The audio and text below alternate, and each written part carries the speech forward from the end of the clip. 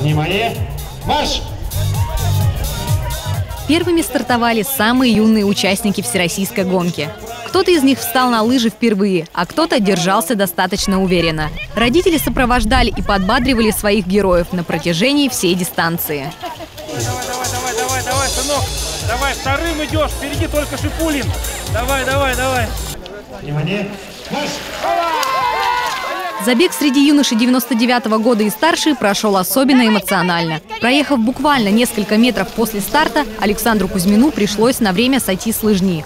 Парень планировал уйти в отрыв и сломал палку. Но благодаря духу и спортивному характеру лыжник гонку продолжил. Правда, лидеров догнать уже было сложно.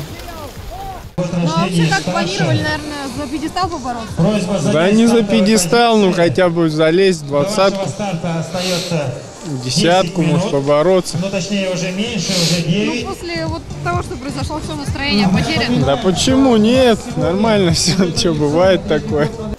Всероссийские соревнования по традиции прошли на базе первой спортивной школы. В этот день на лыжи встали не только бичане, но и жители Белокурихи, Бийского, Целинного и Смоленского районов. Для многих участие в таких масштабных соревнованиях – это уже победа.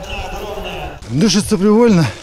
Погода, праздник, настроение шикарно. Михаил Иванович. Так что все здорово. Всем рекомендую настоятельно. Лыжи это вообще что-то.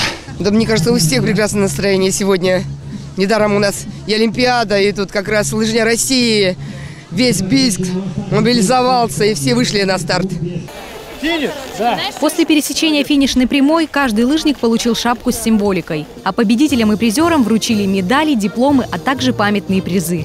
Специально для гостей и участников соревнований работала полевая кухня. И все желающие могли отведать блинов, подкрепиться гречневой кашей и согреться горячим чаем. Кристина Мелехова, Иван Зяблицкий. Будни.